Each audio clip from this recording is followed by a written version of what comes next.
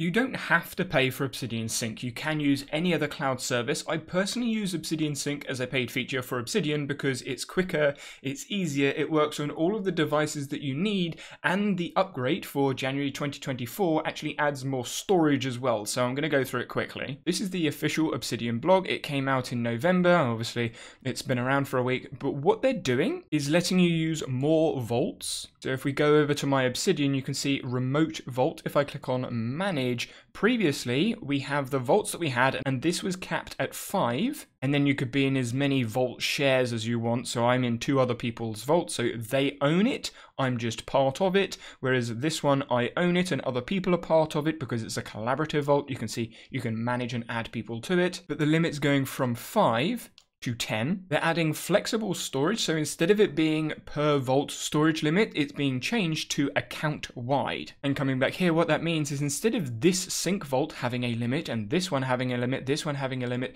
it's account wide. So you can see my storage usage goes across all of those vaults. That means you can have one vault that's really, really big and then a couple of others that are a bit smaller, which I think is a good way of doing it. And previously it was 10 gigabytes. So for those of you that haven't kept up with this update, 10 gigabytes gigabytes was the limit for sync, and it was billed $8 per month annually, or $10 a month if you weren't billed annually, and that was per vault. But now there is an upgrade, so there is more storage options, and that goes up to 100 gigabytes. So instead of being 10 gigabytes per vault, it's 100 gigabytes per account, or 10 gigabytes per account. This is the exciting part. Those of you vigilant will see I have 50 gigabytes, which is neither of those payment packages. And that is because there is an early support holiday deal. So if you buy Obsidian Sync before January 1st, 2024, you get 50 gigabytes of storage for the $10 a month or $8 a month billed annually. So you get 50 gigabytes instead of the 10 if you buy it before January 1st. If you already have Obsidian Sync, you'll already have the upgrade to already have 50 gigabytes of flexible storage, which is what you can see right here. I have 50 gigabytes. I have 5.83 used in my vault of about 6,400 files. In addition to that, we can have bigger files, so the maximum file size is now, instead of 100 megabytes, it's now 200 megabytes, which basically means you can have more as a file that's syncing across devices. And I personally haven't had an issue with Sync, but apparently it's going to be even faster, which is very nice to see. But I also want to go over the behind the scenes of Obsidian, showing you the actual folders and files that are on your system, which Sync is taking across devices. This is a recent video on my channel and if I scroll down you can see there is a template download in the description and most of my videos have a template download if there is a vault build in them. And when you click on this, you go through the download stuff and then you will download a zip folder on your device. So on my computer, I'm in my downloads folder. You can see I have the download zip folder. If I double click in it, now I have the folder and this is the vault folder Obsidian uses. If you have Obsidian already open and you click on the vault switcher, it will bring up this vault switcher menu. The list at the side of vaults I've recently opened, so you can see this is the NaNoWriMo vault that I had open. It's in my G Drive work templates folder, that's where I store it, and these are other vault folders. But going back to the folder that we've downloaded, I want to copy it out of my downloads folder. So control C on your keyboard or right click copy. I'm going to go to my E external hard drive, control V to paste or right click to paste. And what that's going to do is copy the folder from the downloads to wherever you're copying it to. So for me, it's my E drive. Now I have the NaNoWriMo folder inside of my E drive. I go to the Obsidian Vault Switcher. You can see they're a different location. So I want to open folder as Vault. Then I go to my external hard drive, click on the NaNoWriMo folder. You can see it selected the folder.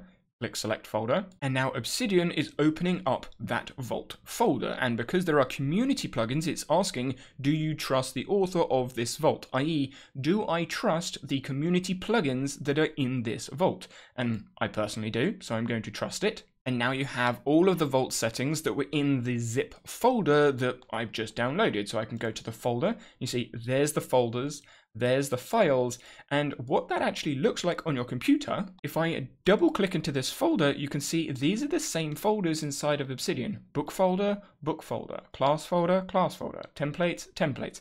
If I click in the templates, here are the md.md, the markdown document files. And if I unfold that in Obsidian, they're the same files. Chapter, chapter, character, character. And if I wanted to, I could double click and open the file here. So if I open it with Notepad, you can see here that is all that's in the location template file. It's got class, location, and then the dashes, which is the YAML or front matter or properties inside of Obsidian. So inside the location template file in Obsidian, if I click on the three dots, go to source mode, this is the markdown text. And if we have a look at the file that we opened up in Notepad, it's the exact same thing because it's the same note. If I add text to this markdown file and then save it, control S, it will then show in Obsidian. Now Obsidian is live, so I'm just going to snap this to the side, snap that open.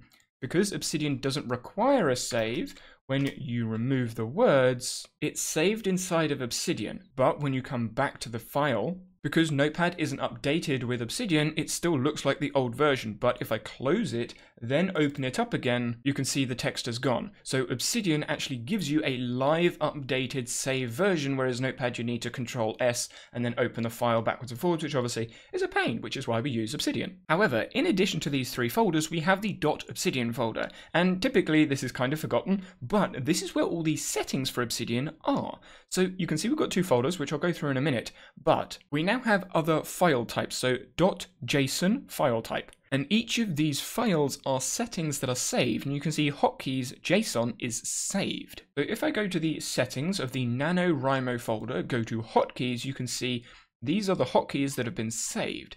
Because there isn't a default for add embed, if I add a hotkey, let's say Control Shift E, just remember that the add embed hotkey is Control Shift E. I'm going to click on Vault Switcher, then create a new vault, call it Test Vault. So I'm making a new vault folder, browse, and I'm just going to save this inside of my E drive as well. So select folder. So now I'm saving a Test Vault folder in the E drive, create. You can see now we're in the Test Vault, which is the brand new vault.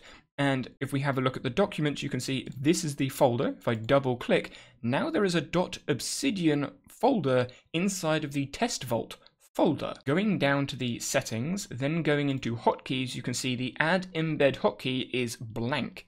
But instead of adding the hotkey here, because everything's saved, the test vault folder and the .obsidian folder inside of that doesn't have a hotkey JSON. If we go to the NaNoWriMo folder, the .obsidian folder, then find the hotkeys JSON, copy, so Control C, go to the test vault, .obsidian folder, Control V to paste. Now I have the hotkeys file in there. You can see the add template has the Control Shift E hotkey. Now, something to bear in mind, because you're changing the file, you may need to exit the vault then go to Open Quick Switcher, and because the test vault folder is the most recent one, it's at the top of the list, reopen that vault. Then when you go back into the settings and the hotkeys, it should now have updated that settings file you've put in the dot .obsidian folder here. So if I do this again, if I delete that hotkey file, then exit, you can see it's still saved here. But if I exit out of the vault and go back into the vault,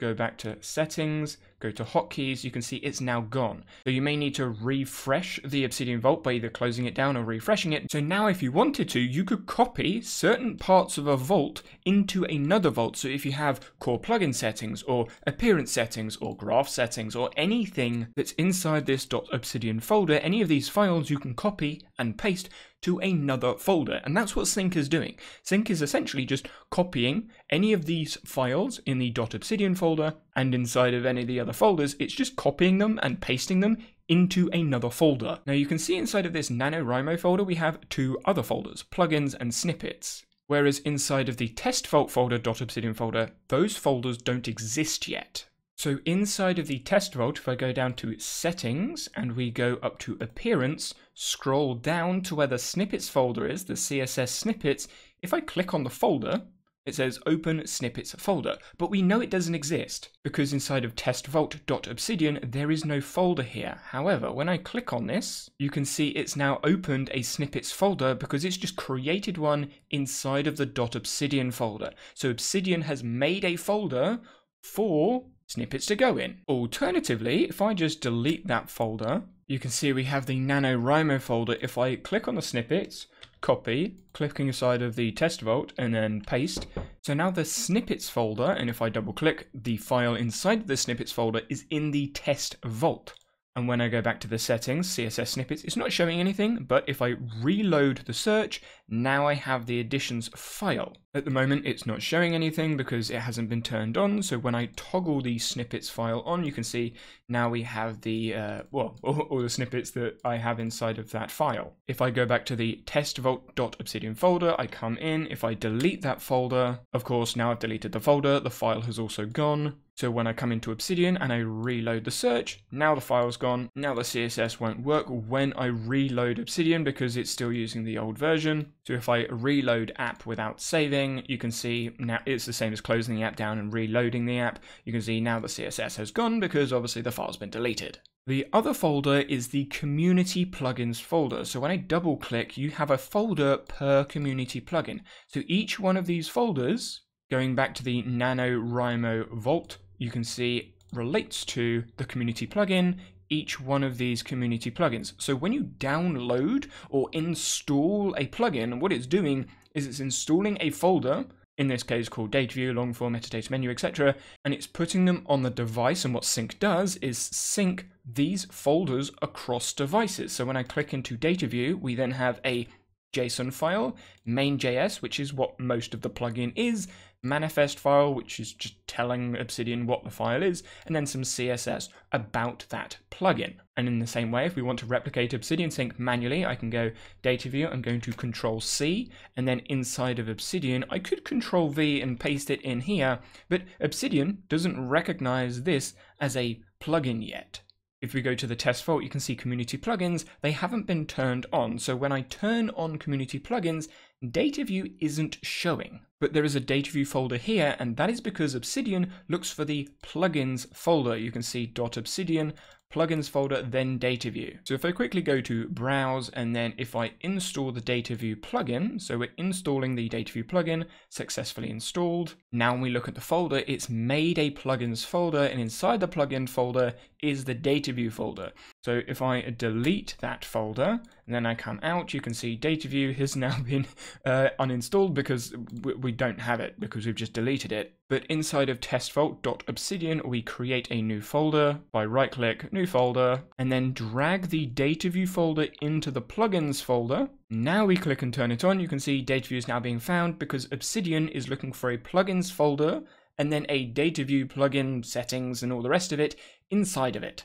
So if we go into the data view folder, we can see we've got the data JSON, the manifest, main.js, and it's exactly the same principle across the board. So if you change settings in one vault and you want those settings in another vault, copy the file, paste the file, and then everything will be synced up in the other vault because it's just a manual copy and paste. For those following and curious, you can see I've got main 10, main 9, main 7, etc, etc. These are all JS files, so these are plugin related files that the developer of metadata menu sent me. So they sent me a main JS file, and what I did inside of the plugin was delete the main JS and then just copy, and then inside of here, paste it. Then if I click there and then go back, back, back, back, enter, now the main.js has been updated manually inside of Obsidian. And the community themes works exactly the same. So if you click on the folder, it will take you to a themes folder inside of .obsidian. So there's the plugins, there's the snippets, there's the themes. And if we click inside the themes, at the moment there's no theme. We go to manage, Let's install the minimal theme, install and use. Now we're using the minimal theme, it's been installed. And if we go back, we've got the themes folder. Inside the themes folder is the minimal theme. Then we have the manifest and then the actual theme itself, which is a .css, which if you want to code, you can go in, customize, change, do whatever. But this is how Obsidian Sync would work if you wanted to do it manually, maybe a USB stick or an external hard drive, and maybe if you don't want to pay for Obsidian Sync. And of course, that helps you open up essentially any folder as a Vault folder with .obsidian settings. So if you do want to have a Vault inside of a Vault inside of a Vault, you can do because it's the .obsidian folder that makes a folder an Obsidian Vault folder. Hopefully that makes sense. If you do have any questions, let me know inside the comment section below or join the Discord, which is where I answer most questions backwards and forwards.